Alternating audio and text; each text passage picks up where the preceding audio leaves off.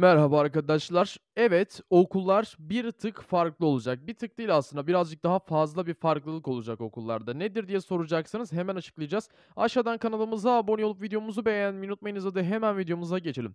Okullar gerçekten biraz farklı olacak. Ne konuda? Arkadaşlar okullardaki düzen konusunda. Mesela bir temizlik malzemesi, okulun temizliği, okulun herhangi bir yapısı veya ne olursa olsun okullar değişik olacak artık. Eskisi gibi olmayacak. Çünkü okullarda ciddi bir gelişim oluyor. Okullara ciddi bir yatırım oluyor.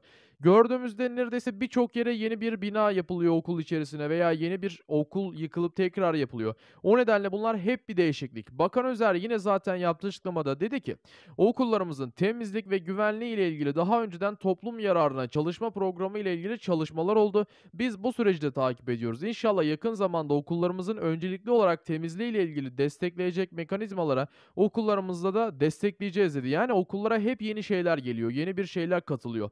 Bu da okulların gerçekten değişik olacağının anlamına geliyor. Şimdi diyeceksiniz ki ya hocam yani nasıl bir değişiklik, temizlikle değişiklik mi olur diyeceksiniz ama bunu okullar açıldığında çok daha güzel bir şekilde anlayacaksınız okullardaki değişikliği veya yıkılıp da yeni bir okul yapılan yere gittiğinizde bunun farkını çok daha iyi anlayacaksınız aslında. Şu anlık sizlere belirteceklerimiz bu kadar ama dediğimiz gibi okulların bu süreçte eee, daha da bir değişeceğini, eskisi gibi en azından bir pis veya herhangi bir eee, yıkık dökük okullar artık eskisi gibi kalmayacağını da biliyoruz. Çünkü gerçekten güzel yatırımlar oluyor. Onu da sizlere belirtelim.